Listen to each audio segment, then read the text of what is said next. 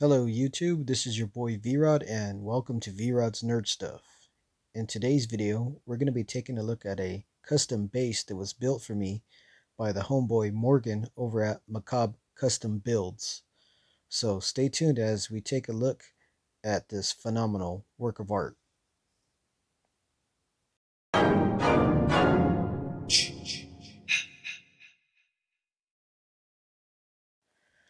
Okay, so here's a still of the base.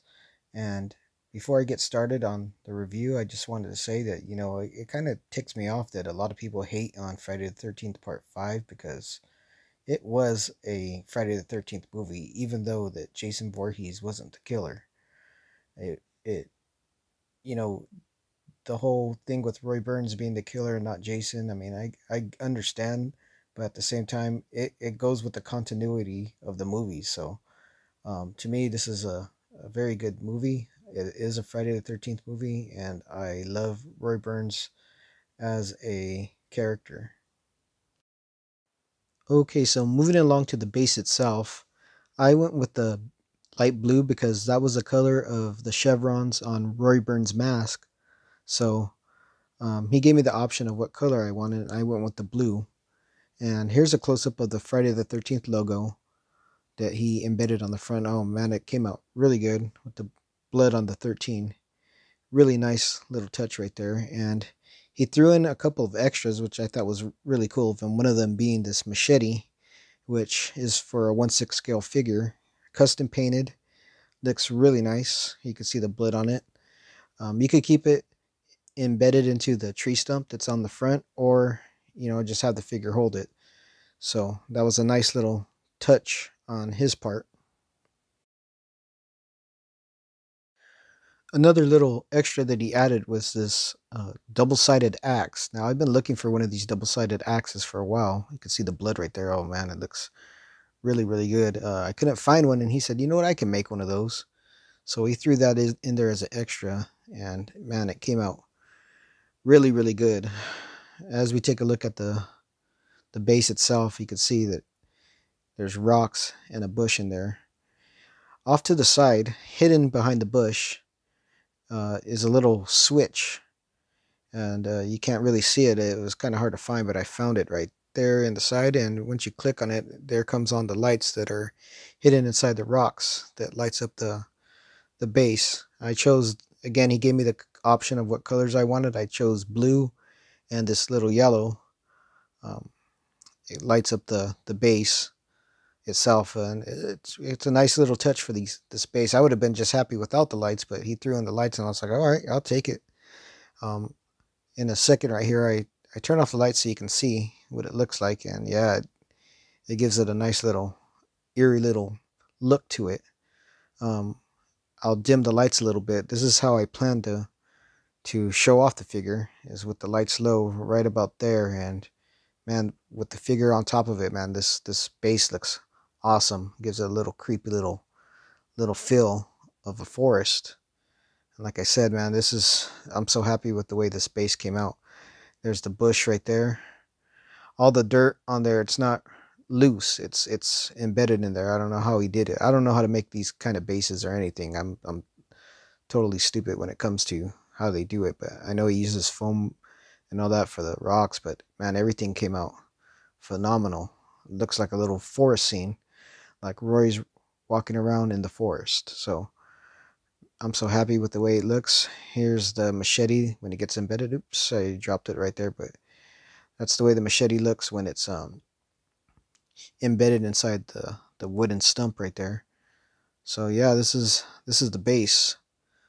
And like I said, I can't say enough about it. This his work is second to none, and uh, I'll I'll show you guys what it looks like with the figure in a second. Okay, so here's the base with the figure inside, and man, I I love the way it looks. the The piece itself, the head sculpt was done by Once Custom.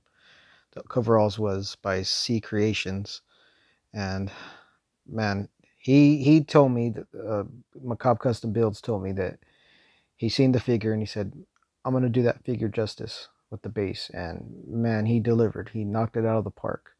So I like this little shot of Roy uh, upwards angle. It look, looks pretty badass with him holding the axe, ready for war. And like I said, uh, man, this piece just really comes together with this base.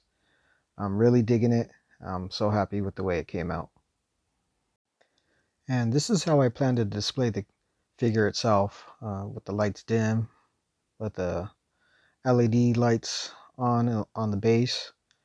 And like I said, uh, I can't say enough about it. I don't want to keep going on and on about how badass this figure looks, but it really came out good. This is how I plan to display it when I'm chilling in my game room, playing some video games or whatever. Post it up. I'm gonna have the lights dim, have this figure. Oh man, that looks so sexy. Look at that. Look at that. Um, man, you guys got to check out his IG. I mean, he he built some pretty badass dioramas. That's how I found him. I hit him up and he delivered. Look at that blood on the axe right there. But yeah, you got to go check out his other dioramas. I just I want to like buy all this stuff, but I man, I don't got no room in my game room to to uh, display it all. But I'm gonna try to make some room because man, these uh, these dioramas are lit. And this base right here, I'm like, look at just look at that. Look how how badass that looks. On a little side note, I'm trying to collect all the weapons that Roy used in the movie, and it's going to be kind of hard.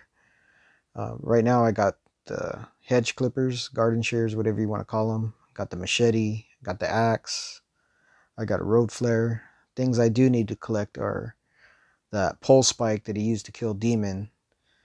Um, I gotta find the pig splitter, the the meat cleaver, and the buck knife and that little strap thing he used to kill that that one dude. But as of right now this is what i got. Um, it's more than enough but i gotta go big with this figure. Another thing i changed on this figure was the coveralls. Now if you see my previous video i did i did a review on this figure and used and talked about the pieces i used. I used a Tinilis Customs uh, Michael Myers coveralls, and it was kind of bothering me because you know Roy Burns doesn't have a flap on on his coveralls, and I was using Michael Myers ones. These ones are really good, but Tim Newly made. But man, I had to go with some Roy coveralls, not Michael Myers. Okay, so that's gonna wrap up this video. Um, I'm so happy with the way this came out. Thank you so much, Morgan. Please check out Morgan's uh, IG at macabre underscore custom underscore builds and you can see all his his phenomenal works of art. Um, this is my price piece, and I'm going to display it right here on this dusty ass shelf with the rest of my Friday the 13th stuff.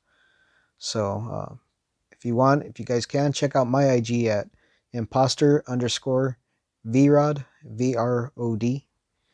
Uh, please like and subscribe to this channel if you'd like to see that, uh, more of these types of videos. Um, but like I said, man, phenomenal piece. Great job. And uh, please like and subscribe. This is V-Rod over and out.